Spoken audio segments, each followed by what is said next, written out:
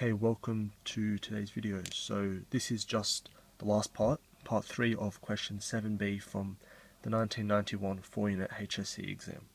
And we did the other two parts, the first two bits, in a previous video. So I suggest you go and watch that video if you haven't already. Okay, so part 3. Question says, deduce that if alpha is a multiple root, then its multiplicity is 2 and 4b equals 8 plus a squared. Okay, so the first thing we need to do is prove that uh, alpha is a multiple root of multiplicity 2. Okay, so if alpha is a multiple root, then it can either be a multiple root of multiplicity 2, multiplicity 3, or multiplicity 4, because there's a degree of 4, and so we should expect 4 roots. So first let's write down p of x has degree of 4 and so we expect to have 4 roots. Okay. Now also in part 2 we showed that every time x equals alpha is a root, x equals 1 on alpha is a root. So we can also write down if x equals alpha is a root,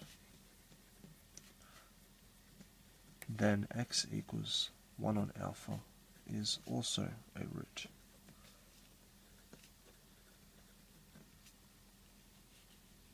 Alright, so like I said before, if alpha is a root of multiplicity, then its multiplicity is either 4, 3, or 2.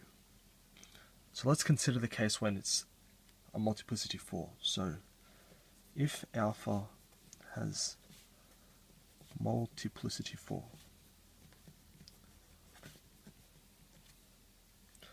so that means we have four roots of alpha.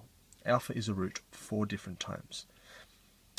So that also means that x equals 1 on alpha is a root four different times. So if alpha has a multiplicity 4, then 1 on alpha also has a multiplicity of 4.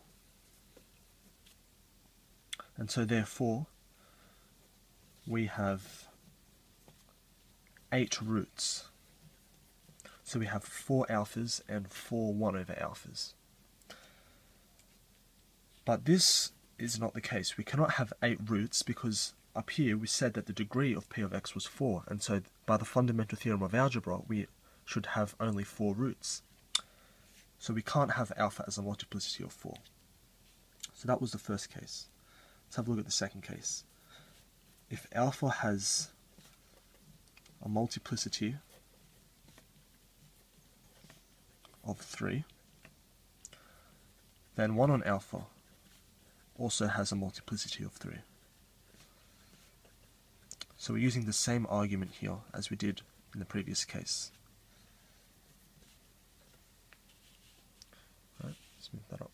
So 1 on alpha has a multiplicity of 3 when alpha has a multiplicity of 3. And so therefore we have 6 roots.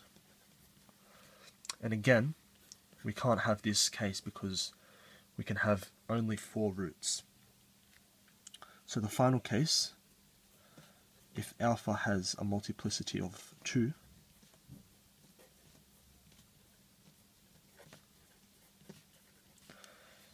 so that means 1 on alpha also has a multiplicity of 2.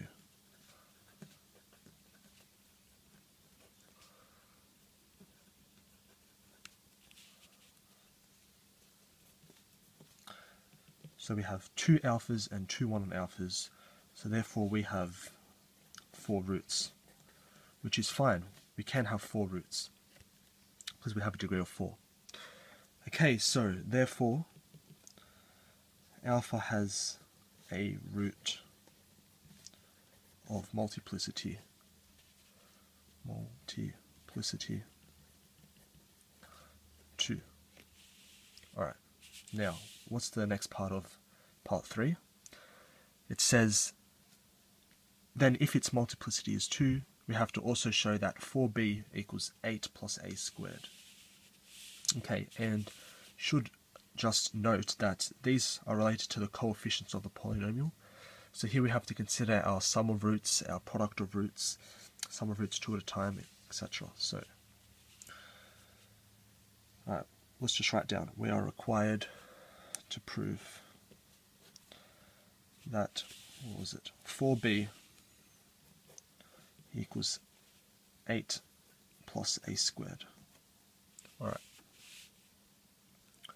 Now, if we consider the sum of roots, one at a time, that's going to be equal to, now minus the coefficient of x cubed, which is a, so we have minus a over the coefficient of x to the 4, which is 1, so that's just minus a. Minus a. But what is our sum of roots? Our sum of roots is, well, we have two alphas, so we have alpha plus alpha, and we have two 1 over alphas, so we have plus 1 over alpha plus 1 over alpha is equal to minus a. So this is 2 into alpha plus 1 on alpha equals minus a, and so therefore alpha plus 1 on alpha is minus a over 2. Alright, now we need to involve b. So b here, this will get b using the sum of roots two at a time. Okay, so let's have a look at the sum of roots two at a time. Okay, so the sum of roots two at a time will be positive b over 1, which is just b. Okay, so the sum of roots two at a time will be alpha times alpha plus alpha times 1 on alpha, put these dots in, plus alpha times 1 on alpha again. So this is alpha times alpha, alpha times 1 on alpha, and alpha times 1 on alpha again. Now, alpha times 1 on alpha, plus alpha times 1 on alpha, plus 1 on alpha times 1 on alpha. And that's equal to b. Okay, we can simplify this a little bit. So here we have alpha squared. All of these alpha times 1 on alpha, the alphas will cancel and we'll get just 1. So we have plus 1, plus 1, plus 1, plus 1,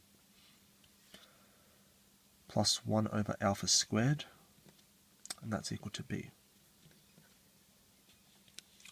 Okay, so here we have alpha squared. Now I'm just going to put plus 2 plus 1 over alpha squared. I'll put this in brackets and then I'll leave the other plus 2 out here and you'll see why I'll do that. Okay, so here you might be able to recognize this as a perfect square. So it's alpha plus 1 on alpha all squared plus 2 equals b. But from before we have that alpha plus 1 on alpha is minus a over 2. And so we have minus a over 2 minus a over 2 squared plus 2 is equal to b. This will become a squared over 4 plus 2 equals b. And from that we can conclude that a squared plus 4 times 2 which is 8 equals 4b. And that's your final answer. So once again, this is just the last part of question 7b from the 1991 HSC exam. And if you haven't seen the previous video, you should go back and watch that video as well. Okay, thank you.